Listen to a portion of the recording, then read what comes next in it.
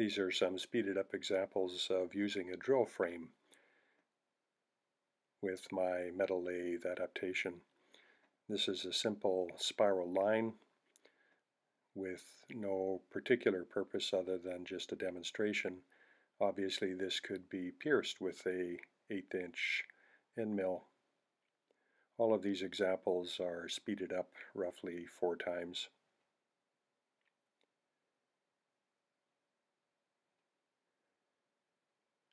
This next example is a pattern that has come up in some lectures recently by the Plumier Society.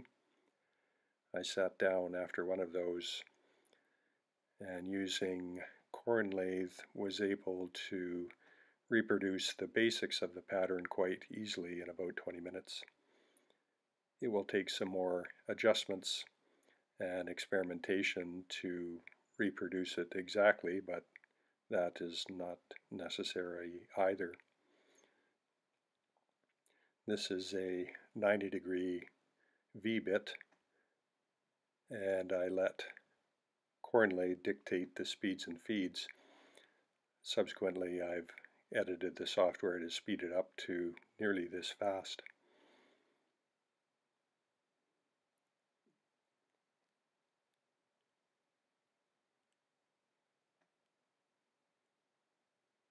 Corn lathe will typically do four passes of 0.025 inches depth and then a final pass one-fifth the depth of those ones.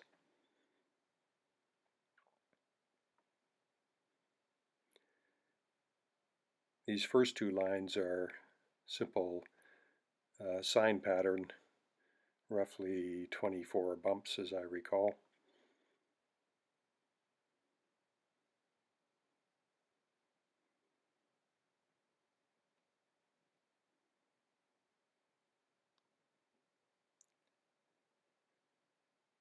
And the next two lines after this were inverted.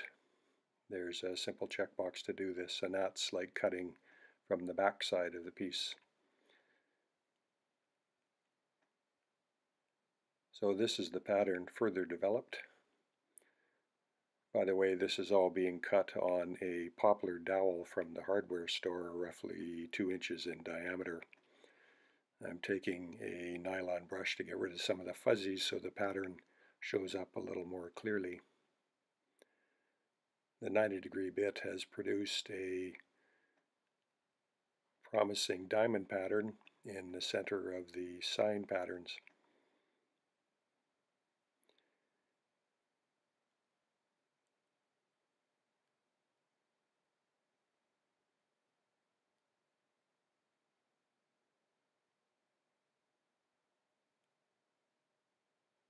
So I moved over a couple of inches and changed to a 60 degree V-bit and started cutting the same pattern to see whether the diamonds would be more like uh, rounded circles or ovals as in the pattern that was described in one of the lectures. Poplar is definitely not the greatest wood to make a finished product out of but it is extremely cheap and readily available. It doesn't hold the pattern particularly well when the detail gets fine, and obviously a denser grained wood would be more suitable.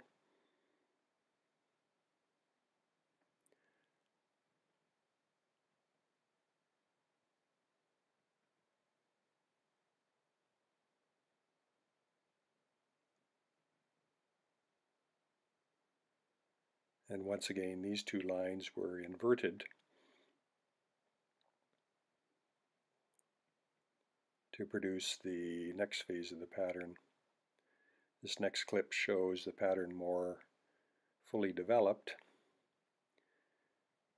and I don't have a pearl cutting bit yet so I just had this V-bit punch a hole in the center of the little dots.